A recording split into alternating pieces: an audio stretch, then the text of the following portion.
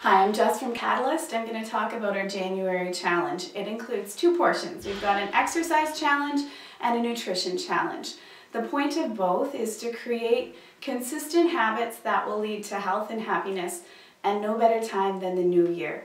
The first one I'm going to talk about is our nutrition challenge. To keep things simple, we're simply going to say no grains. So we need to replace those grains that we've just taken out of our diet with healthy foods like our vegetables and our meat. How do you know if something's a grain? Well, we've got the major ones. We've got our wheat, our rye, our barley, our oats, corn, rice. We're going to send out a complete list of different grains, but those are the major ones that we need to watch for. How do we know if some food item has a grain in it? Well, if it's packaged or processed, we are going to have to read the ingredients. That's the only way to actually know what you're eating. To make it simple though, the best foods that you can eat don't actually have an ingredient list. Those would be your vegetables, your fruits, your meats, your nuts. Anything that's found on the outside of the grocery store is generally safe. A couple of things you're going to want to pay attention to specifically are pre-made hamburgers, pre-made sausages.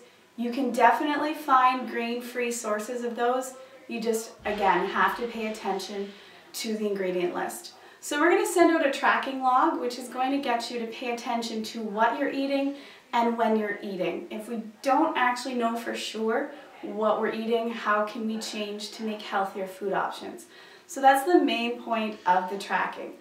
Of course, we also want to see how well we do. We're going to have a point system for that. No grains for the day, zero points. If you've eaten grains a little bit, say less than half a cup, you're gonna get one point for that meal. If you've eaten a whole bunch of grains, you had that pasta dinner at your nona's, you're gonna get two points for that meal. Doesn't mean you've completely failed the challenge. Your next meal's coming up. You can just try again then. I'm gonna mention a couple of tips for success for the nutrition part of that. It's not complicated, but it doesn't mean it's easy. My foolproof tips to make sure that you can stay successful with this is to eat every two to three hours and to always bring food with you when you leave the house. You're already doing a lot of things right. Many food items you're eating now are grain-free, so we just want to build on that for the month of January.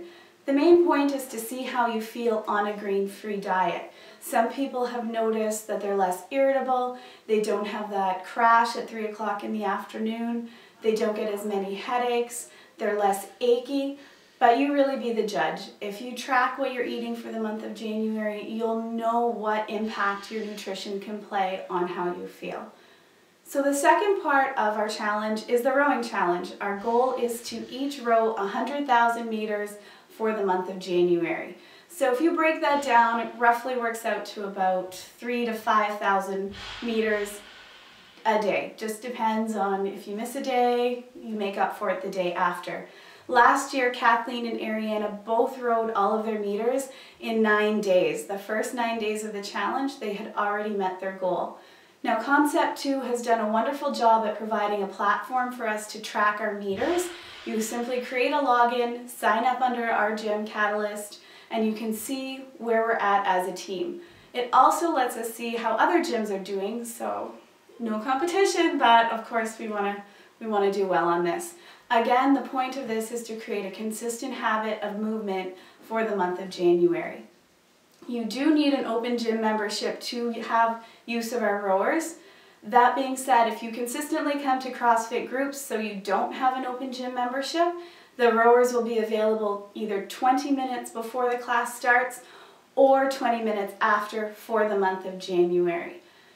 If you have any other questions or anything I haven't discussed, uh, you can ask them on Facebook or shoot me an email at jessica at catalystgym.com.